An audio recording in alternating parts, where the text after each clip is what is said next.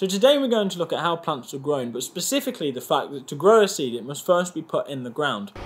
Most ways of doing this involve disturbing the soil and putting the seed in while it's all light and fluffy, you know, as people do with spades and forks and allotments and gardens, and in lots of areas where more primitive forms of agriculture survive, like this Scottish foot plough that turns the earth over as you push it in with your foot. But a very long time ago we harnessed the power of animals, first oxen and then horses, to pull our ploughs along for us. Early examples typically just scratched the soil, but certainly by high medieval times the mouldboard plough was widespread, which turned the soil over. Ploughs seem a little boring in the 21st century, but I think in many ways they are the trademark of humanity, or at least of civilization. The importance of the plough in keeping us alive is seen in traditional celebrations like Plough Monday, which was obviously before people had the internet. Ploughing used to be a very skilled job because you had to go in a dead straight line. Because you could only turn the soil over one way, you'd have to set the field out in strips that were perfectly straight and perfectly parallel so they'd meet in the middle and wouldn't leave a triangle in the middle of your field that you'd missed. Medieval strip farming is often said to have created these ridge and furrow fields by throwing the soil inwards on each strip every time they were ploughed, which leaves this wiggly field surface. Because of the skill involved in ploughing, people have ploughing matches, perhaps you could call it a sport, in which each contestant is given a strip of land and the best work wins.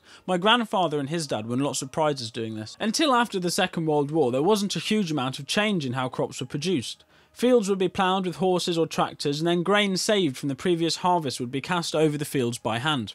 The grain would then be sitting exposed on the uneven ground left by the plough. So the fields would be harrowed, which is to drag a series of chains or a metal frame over the soil to smooth out the work left by the plough and ensure that the seeds have a cover of soil. This is obviously quite crude. You often see harrows with a log or something on them to give them some weight. For much of history, that was it. But after the Second World War, the scientists gave us lots more machines to play with. But before we get to those, I thought I'd show you everything that we did to turn a field around in the autumn. So we returned to the 21 acre, which in the sprays episode we glyphosated to kill off the previous crop of grass. We've got some muck to spread on the field to give all the worms a tasty treat. Our muck spreader sadly passed away, so a contractor has lent us one, which is a little big for our tractor, but it does do the job. So we fill the machine up with the muck, which is very well rotted by now, and then the muck spreader has a sort of conveyor belt inside, which pulls the contents towards this vertical door at the rear, and then it has two spinning rotors on the back which flick it out across the field. So you see the door opens, and then it all starts coming out the back. We didn't have very much muck to spread, so it was only about five loads perhaps. Uh, it sure as hell beats doing it by hand. But with farming, you very much get out what you put in, so we also put some digestate on the field with this absolutely massive machine. So you see here, the spreader sucks digestate out of the tanker which has carted it to the field, and then heads off to spread it as the tanker goes to get another load. Digestate is the waste product from an anaerobic digester that produces fuel from organic matter, so like the muck, this is an organic fertiliser. You'll notice this is applied with a dribble bar rather than spread. This allows precision application but also prevents too much contact with air. It's not in our interest that any of the digestate is lost to the atmosphere so we want as much of it in the soil as possible. With all that done, the next thing to do is get ready for ploughing. First we have to attach the plough to a tractor which is done through a three point linkage. There's two lift arms on the back of a tractor which hook onto the machine and then a third connecting rod called a top link is added. This allows tractors to pick implements off the ground which is something that horses and early tractors couldn't do. Then the hydraulic pipes are fitted and the plough can be taken away for maintenance. The first thing that must be done with pretty much any machine is greasing all the moving parts so they don't wear as the machine gets used. The next thing is to check that the parts of the plough that have contact with the soil are not too worn out, because if they are it can expose the frame of the plough and we don't want that to get worn. You can see this has been exposed in the past and there is some damage to the frame, but I think this time round it's okay. Then we attach a front weight to the tractor which pulls the front wheels down and gives you more traction when you're in four wheel drive, which is necessary for heavy jobs and then you can just get on with ploughing, which is in principle exactly the same as it has always been, but with one key difference to the machine. You will notice that there is a second set of blades in the air as we're going along here, and that's because this plough is a reversible plough. This means that instead of setting strips out and making sure they're dead straight, when you get to the end of the run you can turn the plough over. So this takes all of the skill out of the job. All you have to be able to do is perform a three point turn and then you plop your front wheel in the furrow that you came down and drive back across the field. You don't even have to plough straight anymore because with this system you can have a nice sweeping curve across the whole field and beyond being slightly embarrassing it doesn't matter at all. Now I did say in the sprays episode that glyphosate isn't necessary if you're ploughing, but we decided to use it here because if the roots of the grass were still alive it would likely sprout again and then we'd have to work the field a second or even third time. So in using glyphosate we've saved ourselves labour but also fuel and therefore carbon emissions. Ploughing turns up lots of worms, and seagulls and rooks have learnt this, so if you ever see somebody ploughing, the field will be absolutely full of birds. We would prefer it if the worms didn't get eaten, but it's interesting how the natural world has learnt to capitalise on the annual rhythms of the agricultural cycle.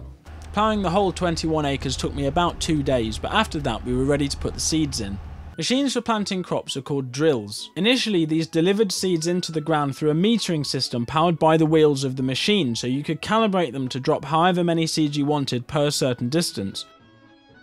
The chap walking behind is making sure mud hasn't blocked the drill, but very soon they had platforms for people to stand on. These machines are essentially the same as the ones that we still use today.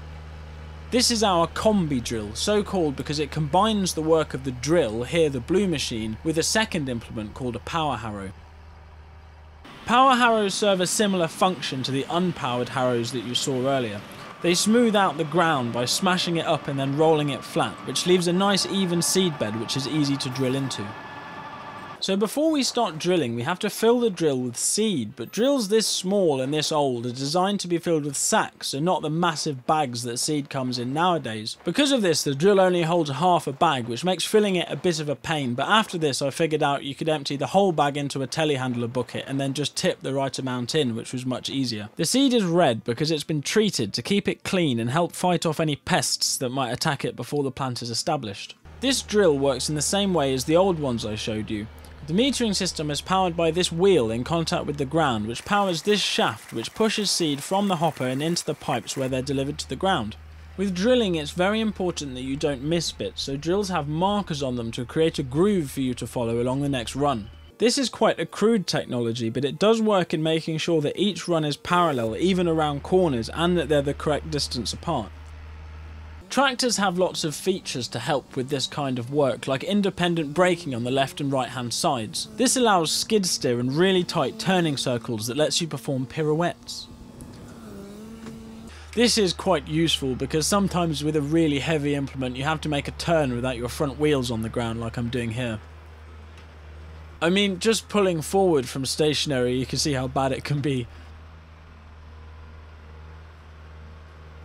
So after it's been drilled, the soil is quite even. The power harrow has smashed up any big clods and rolled it flat, and then the drill has delivered a seed every couple of inches. But the soil is quite loose and soft, which presents two problems. Firstly, it's quite easy for slugs to move across it, and they'll attack the young plants and damage the crop. And secondly, when the seeds germinate, they might not have good contact with the soil and its nutrients.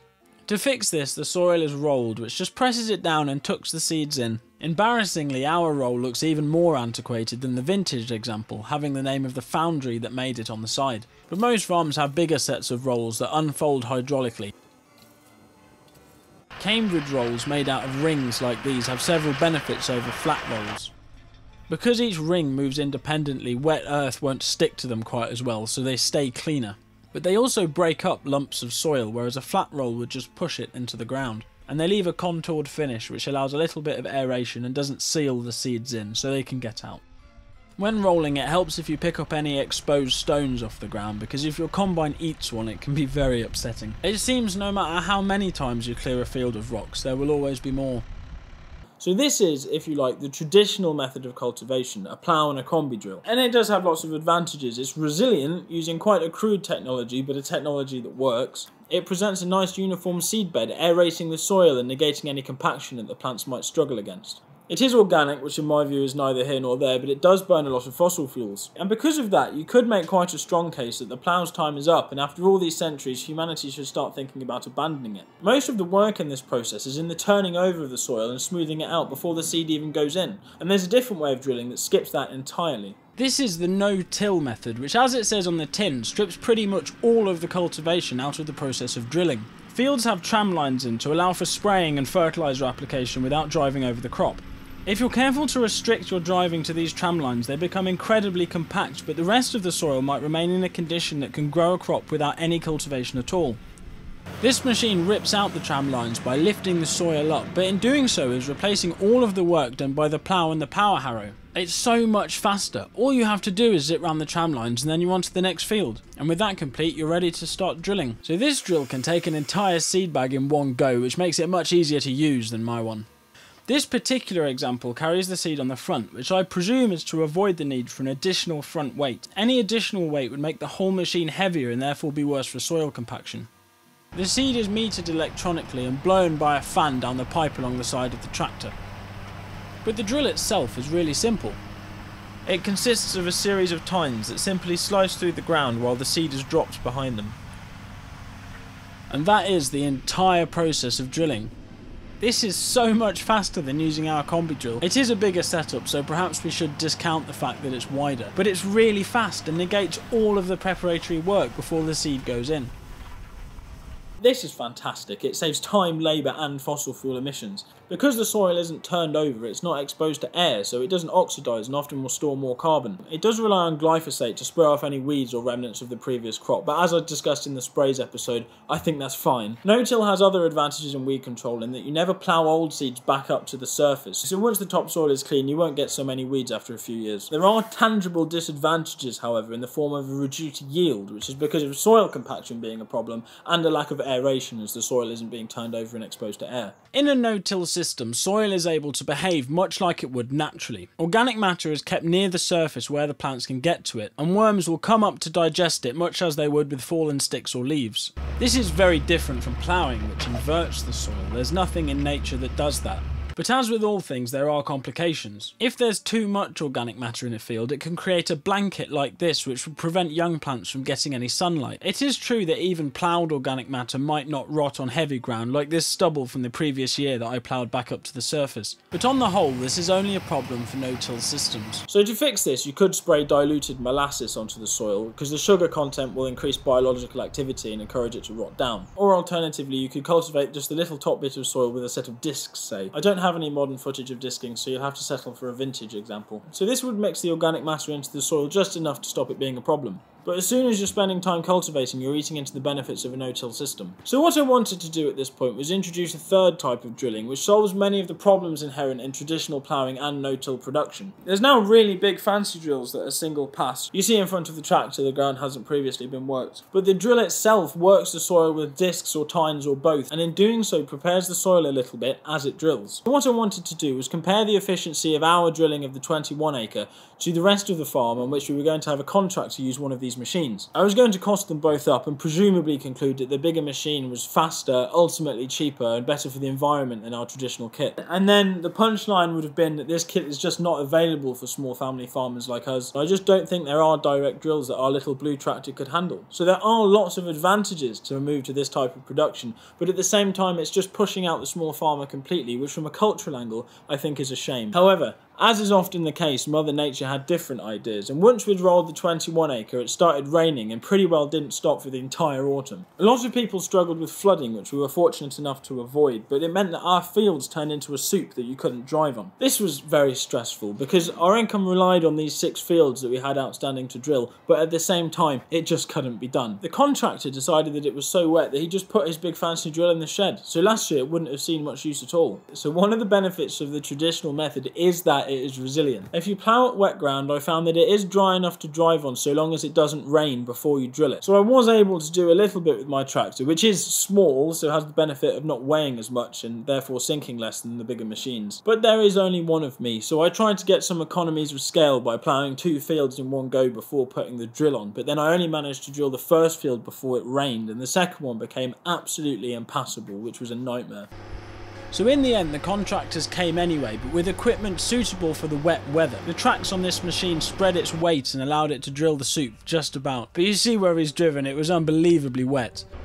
But even though this is a massive machine with tracks and a satellite steering system and a ridiculous turning circle, the drill he's using is just a combi drill. It's using the same technology as the first one I showed you that was being pulled by horses. Even with all this electronics, the metering system was being driven by a wheel in contact with the ground.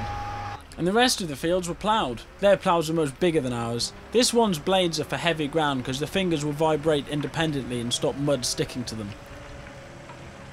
It really was so wet, they were struggling a bit.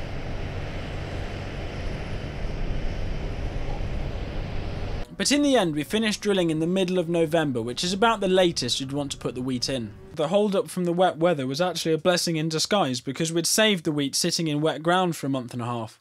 This is what the 21 acre looks like now. It's come up quite well, I think, although there are some patches of water damage. But, you know, there's not always much you can do about it.